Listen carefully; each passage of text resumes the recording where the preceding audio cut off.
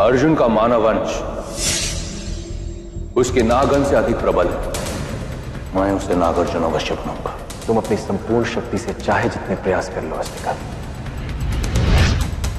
अर्जुन को मानवता से मत भ्रष्ट नहीं कर पाओ। एसपी साहब ने तेरी ज़िम्मेदारी मुझे सौंपी और सिर्फ़ तुम्हारी ही नहीं नूरी की भी ज़िम्मेदारी मुझे सौंपी नूरी मैं तुम्हें नहीं खोना चाहता।